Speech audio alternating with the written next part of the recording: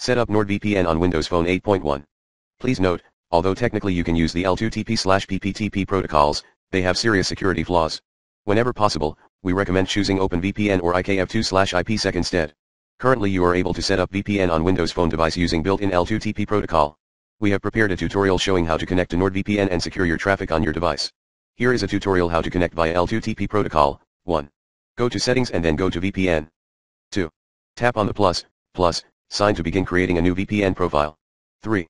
In order to create or add a new VPN profile, you will need to enter the following information, server name, enter any of the server address that you can find by going to server list.